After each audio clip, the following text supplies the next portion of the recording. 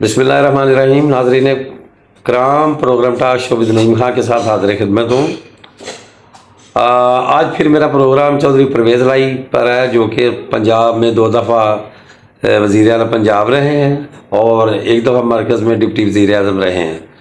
आपको याद होगा कि वो एक मुकदमे में बरी होते हैं या उनकी ज़मानत होती है, दूसरे मुकदमे में उन्हें गिरफ़्तार कर लिया जाता है। ये ऐसा क्यों होता है? हम, मुझे भी पता है, आपको भी पता है। अब जो ले लास्ट अपडेट्स है, ये आज, यानी कि आज मोरखा छः सितंबर 2023 को उन्हें स्पेशल जज इंसदाद दहशत गर्दी शाहरुख साहब ने दो रोज़ा रमान पर हवाला पुलिस कर दिया है।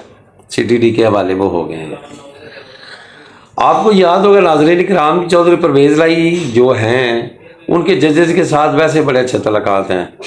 और दो हाई कोर्ट्स, यानी कि इस्लामाबाद हाई कोर्ट्स और लाहौर हाई कोर्ट्स। वो तो ऐसे लगता है जैसे वो सिर्फ़ चौधरी परवेज़ लाई की खातर ही रह गई हैं कि इनके काम कर रहे हैं, बाकी उन्हें और कोई काम नहीं है। तो दोनों हाई कोर्ट्स ने भरपूर कोशिश की कि ये अपने घर चले जाएँ। लेकिन ऐसा ना हुआ और वो दोबारा गिरफ़्तार कर लिए गए। नाजरीन कराम पाकिस्तान की तारीख भरी पड़ी है ऐसे वाक़ से कि जहाँ झूठे केस भी बनाए जाते हैं, जहाँ बंदों की खरीदो फरोख्त भी की जाती है।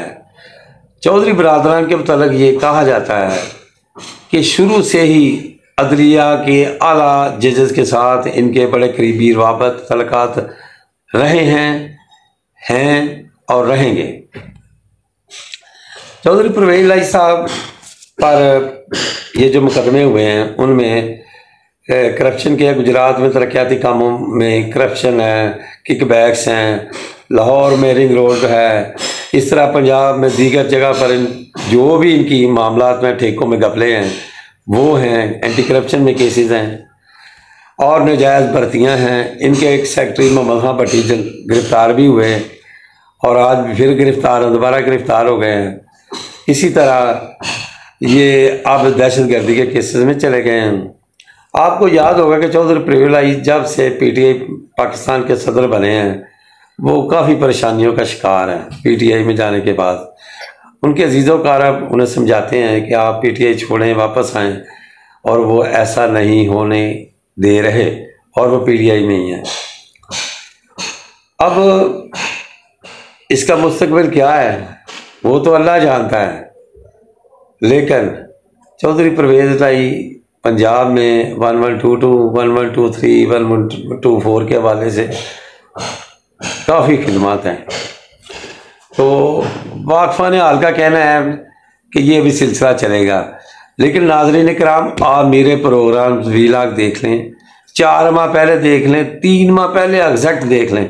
मैंने ये दोनों वीला किए थे कि परवेज़ लाई की रहाई कब तो मैंने कहा था कि वो रहा नहीं होंगे।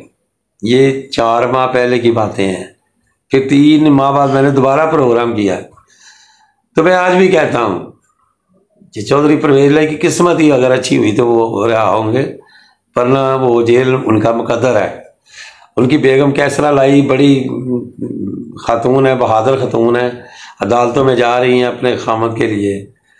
और उनके भाई चौधरी शजात साहब भी जेल में दो दफ़ा जाके मिलाए हैं, तीन दफ़ा। चौधरी परवेज लाई को कल करने की कोशिश की है। उनके दीगर अजीज़ों कारब ने भी, मगर चौधरी परवेज लाई चटान की तरह पीटीआई के साथ खड़े हैं। एक्चुअली सारा मामला चौधरी मूनस लाई का जो उनके साथ ज़्यादा हैं, वो पीटीआई के साथ हैं, जिस वजह से चौधरी परवेज लाई पीटीआई के साथ हैं। आज पूरे पंजाब, बल्कि पूरे पाकिस्तान में, वो पीटीआई के हीरो माने जा रहे हैं। और इमरान खान के बाद चौधरी परवेज़ लाई को खसूसी अहमियत मिल चुकी है पी टी आई में। वो पी टी आई की अगर आइंदा सियासत हुई तो उसमें एक फाल करदार चौधरी परवेज राय का हो सकता है, पॉसिबल है। तो नाजरी ने कहा ये मैंने इसलिए रेफरेंस कोड किए हैं, पिछले आप मेरे भी ला देख लें, चौधरी परवेज लाई रहा, ये रहाई कब?